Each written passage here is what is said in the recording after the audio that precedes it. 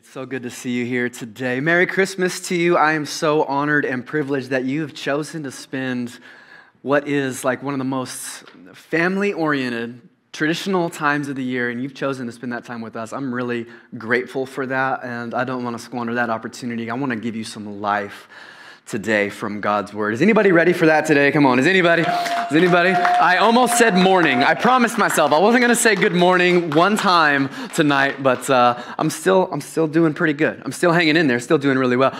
We have a mission here at the church, and it's always prevalent. It's always forefront of my mind whenever I stand up here to preach. And it goes, We are to be a lifeline by leading people into becoming lifelong followers of Jesus. There are notes that are available in the YouVersion Bible app if you like. But, but I want to talk to you about most of all, like one of the most important things I have to share with you is next week, actually, the week after tomorrow. So, tomorrow, no church. You, you stay home with your, your family. It's going to be great. You're going to open presents. It's going to be wonderful. You're going to love it.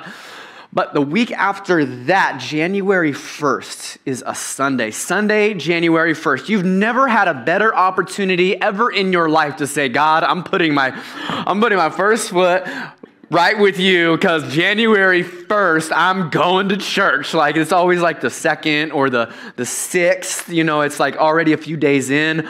But this is a really special year because we get to start our year with God and giving, giving glory to God and honoring Him. And I know a lot of people that would say, man, I want to be a New year, new me. Come on, anybody ever heard anybody say that? New year, fresh, fresh start, man. Yeah. And every single preacher in the whole world has got a, a sermon title like that. And I'm no different. I've got one called Refresh. Refresh. That's right. We are going to start this brand new series called Refresh. And I believe it could be, absolutely, 2023 could be the best year of your life if it's the best year of your life spiritually if we learn to focus on God and put Him first and begin to honor Him above everything else, we would learn that everything else would fall into place. Everything else would begin to make sense, and everything would add up just the way that we always wanted it to if we would just learn to put Him first. And so I, I think it's a wonderful opportunity for every single one of us to say, you know what? I'm going to start my year off right. I'm gonna start my year off by watching the East Coast uh, New Year's Eve ball drop so I can get to bed at nine. I just helped somebody go to bed earlier. I just helped somebody. I only learned about that a few years ago that I could actually watch it live. I don't know where I was. I always thought I had to be up at midnight, but then I got a little bit older, you know, and I was just like finding ways, finding ways to go to bed earlier. So do it that way so that you can show up on January 1st. And this series is going to be absolutely game changing. You can start your one year Bible plan. On that first day, you can start the year off hearing a message from God's Word. Next week, don't miss it. Refresh is starting, and I, I would love the opportunity to start this year off, this new season of your life and bring somebody. If you know someone who needs this, know someone who's looking for a fresh start of some kind, a refresh, someone who's been dealing with some struggle. You know, they have a lack of they have a lack of refreshment in their life, it's because they don't have a connection. That's what that refresh button is for, you know, is to refresh things in our life. But without a proper connection to God, you can't get the refreshment that you need. Oh boy, it's going to be good. I'm very, very excited about it. But let's let's let's focus on the task at hand now. Today, I want to talk to you a little bit about this, this concept where, where consolidating everything that we've learned all month long about these the ghosts of Christmas past, the things that have held us back, the things that have hurt us, the things that, that tend to come up during these times of the year that make our life a struggle, that make our life our lives tense and, and depressing and the things that hold us down. And, and one of the main things that where this happens is disappointment disappointment. What do you do when you feel disappointed by God? Without a show of hands, maybe you've been there. Maybe you know what it feels like to feel disappointed by God. How about, let me just uh, take us back in time to, um, I don't know, maybe September 11th? Uh, several years ago when we woke up in the morning one morning, at least I did. I woke up and I looked at the TV screen and my whole life had turned upside down just like that, and I didn't know what my future held just like that, instantly. How about just a couple years ago, 2020? when we when we were planning our new year. Oh yeah, tight 2020 vision. This is gonna be awesome. This is gonna be my year. Oh, come on, somebody. And then next thing you know, you're like, oh, whoa, what happened? What, homeschooling? What? I don't know how to do that. Oh, I don't can't even go out to a restaurant. I had all kinds of plans, but my plans got derailed. We've been shown over and over again in life that we can be let down by when we make plans and we think life is going to go one way, but then life goes a completely, it takes a turn for us. And then we're left feeling disappointed in God. So, what do you do when you feel disappointed in God? Like He, he lets you down or He missed the mark. Maybe you raised your kids the best you knew how, but now they're making decisions that you know ain't right. That you know that this is going to lead to a, a bad outcome in their life. Maybe you didn't plan homeschooling, but here you are three years later still doing it. And you're the, you're the principal, you're the teacher, and you're the, um, the, the lunch lady. what can I say?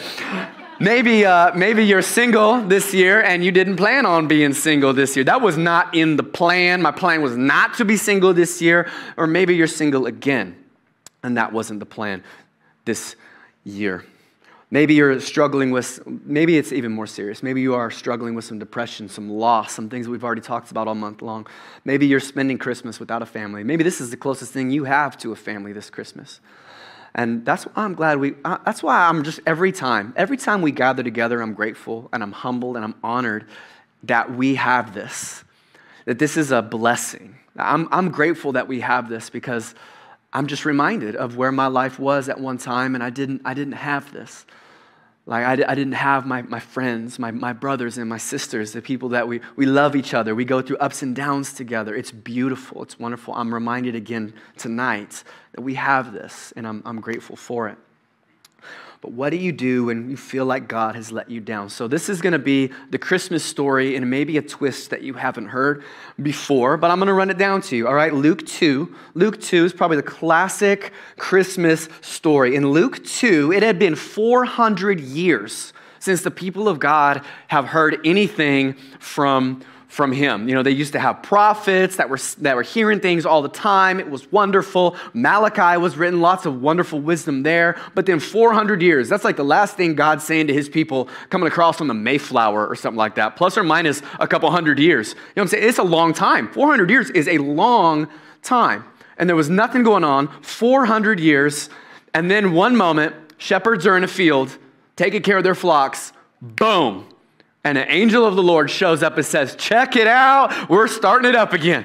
Here we go. Message from the Lord. And it's not just any message, this is not just something going on. The angel of the Lord appears and says in Luke 2, starting in verse 10, he says, Don't be afraid. I bring you good news. Come on, who's ready for good news today? Is anybody? And wave at me if you're ready for some good news. Finally, come on, some good news these days. Let's go. The Savior. Ooh, the Savior, that's got a ring to it. The Savior, the Messiah, the Lord has been born today in Bethlehem, the city of David. What I love about God is if we if we just needed some advice, he would have sent a counselor. If we just needed a little education, he would have sent a teacher. If we just needed more laws, he would have sent a politician. But God knew that we needed forgiveness, we needed hope, we needed healing. So guess what? He sent a savior a Messiah, something that rises to the top and is greater, holier, better than anything we could have ever asked for or imagined. He sent Jesus. It's wonderful. It's a wonderful. And then it says this it says, and you will recognize him by this sign that you will find a baby wrapped snugly in strips of cloth lying in a manger. A sign, a sign and it's an object that conveys meaning. Y'all know this. You know what a sign is, but it's an object that, that conveys meaning, sends a message. The sign was not that it was going to be a, a, king in a palace dressed in purple robes with like this halo and he's just like gracing in, you know. Kind of like how Tiffany comes up on stage. You know, she comes up on stage sometimes and she's just like, like draped behind her is the glory cloud. I don't know what it's like. Maybe it's just me because I love her so much. Maybe it's just me. Every opportunity I get, hon, every opportunity I get. No, no, no, no, no, no, no. You know what the sign would be is, is, is this baby is going to be born in a hollowed out cave. That's what the sign is. This baby, I'm, I'm, serious. This is, this is what really happened. You know, we've got these cute little uh, minifigs that we put on our that we put on our nightstand and we put like on the coffee table, and it's like a little it's like a little baby. He's so comfortable so comfortable in this little hay bed. And then everybody's there. You know, the shepherds are there. Wise men are there. Why are they there? Who knows? Doesn't matter. Throw them in. They're made of It's so perfect. But what the real story is, Jesus will probably like right next to a little pile of poo. Okay, it was, it, I'm, it was stinky, uncomfortable. This is the sign. Wrapped in, in, in cloth, but like if you look into it, those are the same kind of cloths that he was wrapped in that they would wrap dead people in. The, sa- the same kind of cloth. And it was a sign. It was a sign that this, this baby was born to die. Born to die. Now, I mean, everybody's born to die. We all got to go sometime. But this baby was born to die. That's, that was the sign. That was the sign. Heavenly royalty born to die. Luke 2 13 and 14. Suddenly the angel was joined by a vast host of others, the armies of heaven, praising God and saying, Glory to God in the highest heaven and peace on earth to those with whom God is pleased. Peace on earth? Wait a second. Hang on a second. Y'all read the Bible before? All right, you live in the same world as I do? Peace on earth. What are you talking about? What are they going to see? They're not going to see that. They're going to same what this, they're going to see the same thing that you and I see all the time. Anything but peace, and most often disappointment. Disappointment. Getting real in church today. We're going to see some disappointment. But there's hope hidden in the Christmas story. I'm going to start this off by, by just kind of describing the story. It's, it's a gut wrenching, heart wrenching story about a young couple, all right? A young couple that deals with betrayal, deceit, uh, relational devastation. And when we talk about Mary and Joseph, these are not just names, these are real people. Mary and Joseph, real people. There's a lot of couples in here today. Mary and Joseph were a couple. They were a couple of kids about to get married, and their life got flipped turned upside down. I'm glad that some of you liked that. Um, that makes me happy. That, that's, that was my Christmas gift right there, is that I got a couple chuckle off. that was, now I'm good. They, they were unfairly criticized. They hated, shamed, humiliated. They, and Jesus experienced a traumatic birth. This was really like a nightmare going on. They, they had to run. They were fugitives on the run. This story is tragic. These are not just names, these are people that had to deal with all these things. Why? Because they were doing what God told them to do. And that's not fair. That's something I hate with kids in the house. That's something I hear a lot. Not fair. Not fair. And then what do you want to say to them? That's right. That's what it's not. And I'm the one that makes it not fair just to put it on you because it's not fair for me. It's not going to be fair for you. And now it's fair. Now it's fair. Now it's fair. I'm a, I'm a good parent. I'm, I'm a good parent. I really am. Nobody believe. Oh, that's all right. I'll just move. All right, let's modernize this story a little bit. Let's call uh, Joe. Let's call him Joe. Let's call Joseph Joe because most people named Joseph are called Joe. Now it's kind of coming back. I was gonna. Uh, let's call Mary Mary. Mary's fine. May May. No, let's not call her that. That's what's modern about that. That's okay. The names are fine. Joe and Mary. We'll just stick like that, and let's just let's paint the picture a little bit. Let's modernize. Is it okay if I modernize this story a little bit? The Christmas story, you're to hear it today, but it's a little bit modernized. This is how it went down. Joe and Mary, and Joe's taking her out. Man, let's go for a walk, babe. Let's go for a walk on the Bethlehem Bridge. Yeah, I got something. I got something planned. And then he's walking around, and then he's like, bam! All right. But the photographer was like hidden in like one of, behind some of the rocks, you know, and like maybe one of the huts. I don't know, what did they have back then? Huts. So he pops out and perfect pictures, perfect pictures on the Bethlehem Bridge. She posted to Instagram, record number of likes. Blessed. Hashtag blessed right there. Her, her, her, page is blowing up. Everybody's like, oh, I'm so, so jealous of you. All of her girlfriends are like, oh my God, he's so sweet. You're so lucky. It's just going per. She is just all over the moon. They got big plans. They got big plans. They're going to get married in May because if you're proper, you get married in May. That's, I mean, is that, is that normal? I got married in, in January, so that's just like what we could afford at the time. Honeymoons are cheaper when you get married in January. That's a, that's a, that's free. That's free advice for some of you out there. But they're gonna get married in May. They're gonna get married in May. A lot of, a lot of weddings coming up. This is going to be great. Honey, their honeymoon was going to be an all inclusive resort eh, stay in Rome. They're going to Rome, going to stay there for free. It's really not that far, so it wasn't a big deal. Sounds good to us. They had plans. All right, they're going to pay off Joe's uh, trade school loan. All right, this is what we're going to do. We're going to pay off his trade school loan. He's a bit of a carpenter, bit of a carpenter, so they're going to pay off his loan. They're going to live in an apartment for two years. Two years.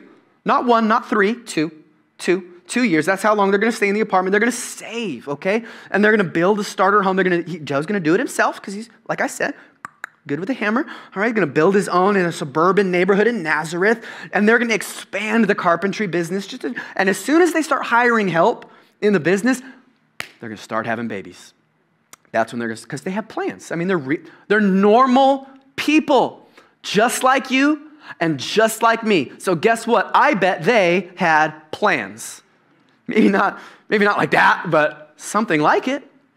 I'm, I'm sure of it. God interrupts their plans and hands them the most complicated, inconvenient, untimely, seemingly unfair assignment. An angel appears to uh, 14 slash 15 year old Mary. Like that's, uh, she's young, but this is normal back then. Okay, so don't, don't get all weirded out. It was all good. Everything was fine. And the angel says this You're going to give birth to a son, Jesus, the Savior. That's who he's going to be. How? Mary says, I'm a virgin. I mean, we've done it. We've done it your way, God. Like an angel appears and like, no, I haven't slept within my promise. All right, did my mom send you? Like what? Like what's, what's going on? I feel like I'm getting grilled here. All right what is it? Like the, the second century? Come on that's so so two centuries ago. But no mary's like no we didn't do it. We didn't we didn't you know consummate yeah we didn't do that. But the angel's like no no no no no no no it's not like that. I get it. You, you're good. You kept it above board. All, all great. But this baby is conceived by the holy spirit in you. And and so she's she's excited. She's like oh this is tight. And she says one of the most amazing things uh, i should have put it up on the screen because i just like i love what she said, but I just wrote it right here. She said, May it be done unto me according to your will. I love that. I love that because it just communicates that surrender. Like, all right, Lord, whatever you say goes. I got my plans, but let it be done unto me the, the way you say. So, Mary, it's like Mary went off to church, had like this big, great time at church, comes home from church, and Joe's like, So, what happened at church? Oh, nothing much. Pregnant pregnant. Oh, but don't worry, don't worry, don't worry. It's a ghost. It's a ghost. The ghost did it. Just ghost did it. Don't worry. Don't, don't worry about it. It's actually, it's actually good. This is good. It's actually a good thing. And Joe's like, say, say what? We're never going back to that church again. This is, this is not happening. This is not happening. I can't believe, like, not only did you cheat on me, I mean, not, put yourself in his shoes, guys. Not only did you cheat on me, but you are off your rocker. You are absolutely crazy. This is not right. I mean, how would you respond if your girlfriend said she was pregnant by the Holy Spirit? You'd have her committed. All right? You'd feel like burned a little bit, but like, man, she, she crazy. This is outrageous. But Matthew 1 says this this is how the birth of Jesus the Messiah came about. His mother Mary was pledged to be married to Joseph. But before they came together, she was found to be pregnant through the Holy Spirit because Joseph, her husband, was faithful to the law. He's a good guy. And yet did not want to expose her publicly into disgrace. He had in mind to divorce her quietly. Now, hang on a second. I thought you said they were engaged, not married already. How's he going to divorce a girl that he hasn't married yet? Well, let me, I'll just coach you up a little bit, real, just as quick as I can. That in Hebrew culture back then, there's actually like two words I'm going to really try hard to pronounce correctly because I'm just a gringo and I do the best I can. All right, I just do the best I can. And there's there's two stages of a Hebrew wedding back then, and it's uh, the kedushin, kedushin, ah, jeez, I knew that was going to happen. The the kiddushin. I think you have to say it quicker than that. Thank you, Daniel. The kiddushin is the engagement. The kiddushin is the engagement, and and at that point, it's done. It's settled. Like it's a binding agreement. It's not like now where like when I'm marrying people, I could be like, if you want to get out of this, blink twice. I will faint right here and you can run off. It is all right. Because it's not done till it's done, right? It's not done. But back then, no, once you're engaged, it's locked in. Like if the man dies after the kiddushin, Daniel's to hate me after this. He knows how, this, how to say this, I don't. But after it's all done, like after the engagement's done and the man dies, the woman's considered a widow. It's that done. And then the second part is the huppa. I like that one a lot. Huppa. The huppa, that's the marriage ceremony. That's where the marriage is, is consummated. It's also pronounced huppa huppa.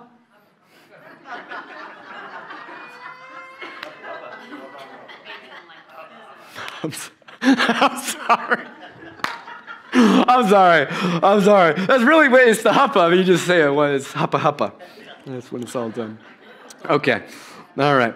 So put it this way they hadn't got to the huppa huppa yet. They're still in the kiddushin. They're still picking wedding colors. They're still in that zone, but it's solid. And they're, they're in this binding agreement, and, and Mary's now pregnant. And back then, that is an outrage. Back then, in, in their culture, like God, God knew what he was doing. I like to think he knew what he was doing. He was protecting, like violently protecting the, the integrity of his nation, of his people, and saying, no, we're gonna, we're gonna protect the, the sexual morality and not let things, and he was just, that's just the way it was. And it was, they were good at it, uh, which I totally support. I think it's a good thing still to stay, to stay, to keep that purity as, as, as much as you can just to get it going. And this would make him and her both, for her to be pregnant, it would make both of them outcasts forever. Like both of them are totally shamed. But both, not just both of them, both of their families, like everybody, everybody is totally shamed if this got out. So he was going to divorce her quietly. So, so Joe knows they've never been intimate. Obviously, he knows that. So he's crushed. He's humiliated. His life, all the plans they had, ruined. I mean, imagine the invitations are out and, and, and they call off the engagement. It's worse than the public humiliation. What about the personal betrayal? It's his best friend, the person he's supposed to spend the rest of his life with. He trusted Mary, he loved her, planned to spend his life with her. And now what? His life and her life, they're both over as he knew it. And imagine Mary again, 14, 15 years old, didn't do anything wrong. All she did was listen to God. This is a messed up story, man. This is. The Christmas story is jacked. It's wild. She didn't do anything wrong. She did everything right. Listened to God, saved herself, kept herself pure. It was going to marry a good guy and then said okay to, to God, said yes to God and is now going to be outcasted forever. Everything is breaking down. God, I said yes to you. Now Joseph hates me. Everyone hates me. My life is over. This isn't what I had planned. Maybe, maybe some of you have had a year like that or had a season like that. This is not what was supposed to happen. I wasn't supposed to lose them right now. I wasn't supposed to lose this loved one. I wasn't supposed to experience this sickness. I wasn't supposed to experience this loss. You know, maybe you had something planned, like some travel, like a big reunion or, a, or a, a something, and a surprise bill now has you in debt. You're not, not only are you not going to go traveling, but you're in debt now, and, and things are totally thrown off. Maybe you were expecting a promotion from work, but you actually lost your job. I mean, things don't always go as planned. Maybe you thought you'd be married by now, but there are no prospects, and the prospects that are out there are not going to go for it. Not going to not going to do that. I'd rather stay single. And that's not always a bad idea, ladies. I'm just saying. Boys got to grow up too, you know. Maybe you thought by now you'd have that baby you've been planning on. You'd have that baby, and you tried and you tried, but you just can't conceive. Maybe you, maybe you did, but lost the baby. This is serious. These are serious things. I'm not, I would never make light of them to you. I'm just trying to make light of a very difficult subject. Some of us have lost some things. And we had plans and they just didn't go the way we thought they would. This isn't what I wanted. This isn't what I planned. God, I don't understand. And that's the key, isn't it? Is that we don't understand. God, what are you doing? What, where are you?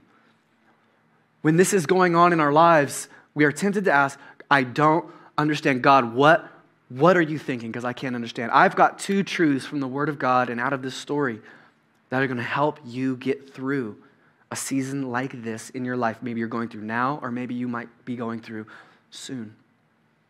And the first truth is this is you don't have to understand the plan to trust God has a purpose. You don't have to understand the plan to understand that there is a, a purpose at the end of it. And there is. There is. Watch this Proverbs 19 21. Many are the plans. Everyone say plans. plans. In a person's heart, but the Lord's purpose is that which prevails. Thank God for his purpose. Thank God he has a purpose. That people's opinions can't stop his purpose. That disappointments in our life can't stop God's purpose. That mistakes that even you make can't stop God's purpose. That God's purpose prevails in all situations when we submit to him and give to him our our ununderstanding, what we don't understand, Lord, I submit to you, his purpose prevails. Listen to Matthew 1 again in, in verse 20. But after Joseph had considered this, because he was gonna he was gonna go off on his own plan again. He was coming up with his own plan. I'm gonna divorce her. But after Joseph considered this, an angel of the Lord appeared to him, thank God, in a dream and said, Joseph, son of David, do not be afraid to take Mary home as your wife, because what is conceived as her is from the Holy Spirit. She will give birth to a son, and you are going to call him Jesus, because he will save his people from their sins. Come on, somebody, that is good news, and I love it every time I hear it, because I'm somebody who needs it. And I'm somebody who would just love to receive it every single day because I need it every single day. Wait, what? Even in the middle of this horrible mess, even in the middle of what's going on, there's purpose in my pain because the first, the first truth is that you don't have to understand the plan to trust God has a purpose. But, but truth number two is this your disappointment with God, your disappointment with God might actually be a divine appointment from God. Your disappointment with God might actually be a divine appointment from God. There are times when you are let down but God, you've got a purpose for that pain. God, you have a purpose for what I'm going through right now. Hindsight always tells me that, and every time I have to go through it, I have to remind myself again God, you've got a purpose for this pain. I'm struggling right now. I'm going through this loss. I'm going through this hurt. But God, you have a purpose for this. God, somehow you're going to bring yourself glory. Somehow you're going to help someone. Somehow you're going to build this up. Somehow you're going to use me. You've got a purpose in this pain. He's got something cooking. Man, God has something cooking when you're when you're going through something tough. Because I had a plan too. I mean, I didn't I didn't grow up, you know, with a plan of you know, barely dodging prison and, and having all this trouble come on my life. I mean, some of you might be a little new around here, so I, I didn't mean to startle you like that. But I had a plan too. I had a plan. My plan when I was growing up, my plan was I was going to play music for a living. And I was pretty good. I was. I could play drums with the best of them, and I could play with, with older people. We could play professionally. We could go on tour. We could go out of state. We could play. And I wanted to play music for a living. That was my plan. I had a good, I thought it was a good plan. I didn't plan on all the stuff happening to me the, way it happened. You know, I, and everything was going good until, you know, I got introduced to the lifestyle, what music comes with. The partying 24 seven. Everything's always a party. But by the time I was 16 years old, I quit coming home. And I figured out I could just go out and I could just have fun all day, every day, stay with whoever I wanted.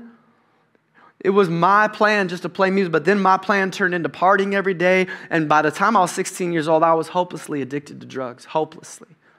Totally burned out. Total music was gone. I wasn't worried about that at all anymore. I was only fixated on that. I got trapped by sin. I got trapped by the allure of feeling good and my own way, my own lifestyle. It's extreme for me, but it might be a little bit more subtle for some others. But I tell you, it's the same outcome. When we get allured into a life focused on self, it leads to nothing but pain. Nothing but pain. I never planned on getting trapped in that, in that lifestyle. I never planned on getting sentenced to five years, eight months in prison. I never planned on getting sent to the Salvation Army instead of all that. I never planned on getting saved in a country bumpkin church in some place I never heard of called Stockton, California.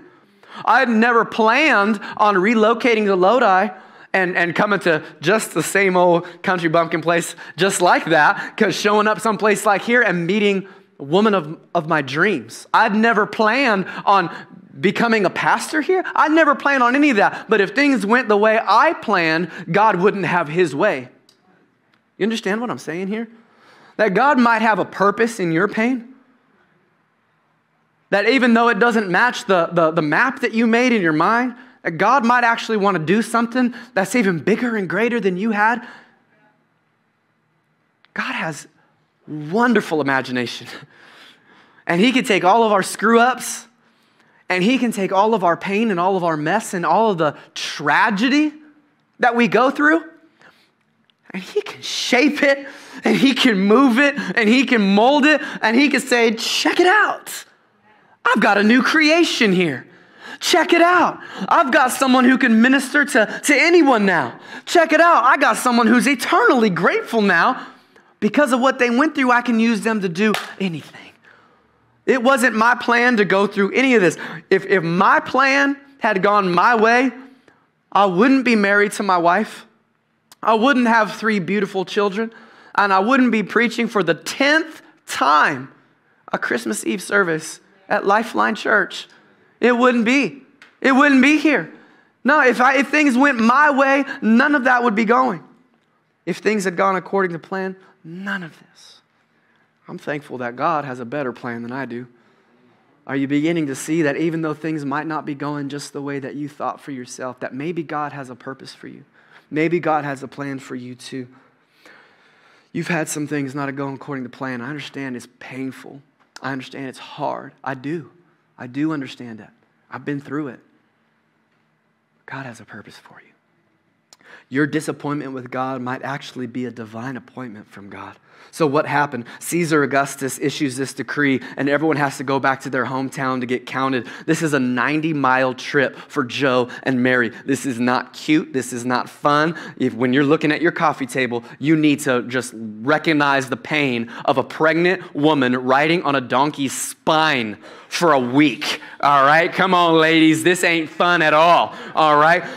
That's like marriage ending, all right? Have you ever traveled anywhere with your pregnant wife? This is not this is not going to go well. I, I, I can't imagine. I don't care if there's leather seats. I don't care if there's air conditioning. I'll go myself, get the experience, bring it home to my wife because this is like, this is going to be mission critical. We are not going anywhere together. But they have to go 90 miles back to their hometown, no work. That means no pay all right? They didn't have like stimulus checks back then. There's pressure on Joe right here to travel through the Judean desert, which is frozen at night. It's frozen at night. Uh, one of the most terrifying parts of this journey would have been the, the, the valley of the Jordan River. This is a place where uh, robbers and pirates would lay in wait for people traveling just like this. They would have to fight off lions right there, bears, wild boars. Like wild boars? Are you kidding me? That's terrifying. Have you ever seen a wild boar? Gah. Like, ugh, turn into bacon. Jeez, I don't want to even look at you right now. See, that's scary. You're trying to fight a wild boar. Like, if you fought a wild boar, you win. Like, you just, whatever you, whatever you say, like, I'll just shake your hand. All right. I'm like, you're good. Wild boar, that's just scary to me. I don't know what. It's like, Spiders for my wife, wild boar for me. I'm, I'm terrified of that. I don't want to do that. I don't want to do it. All of that on a donkey with a very pregnant wife. So they get to Nazareth. There's no such thing as hotels.com. There's no room for them. And, and over a week on a donkey's back, Mary is having contractions by now. Joe is freaking out. He's negotiating this barn deal. And it's not a barn, everybody. It's not a barn. They're not staying in some barn. What do you think this is? Like HGTV? Like this, like some shiplap barn they're gonna stay in? What do you think this is? Dude, this is this is Nazareth. Or Bethlehem, this is like 2,000 years ago. They didn't have nice stuff. All right, Google, Google where Jesus was born. Uh, like, just go ahead and look for yourself. This is like nasty, dirty side of a cave, horse poop right there, a little bit of like whatever, and it's it's this is terrible. This is a terrible experience they're going through.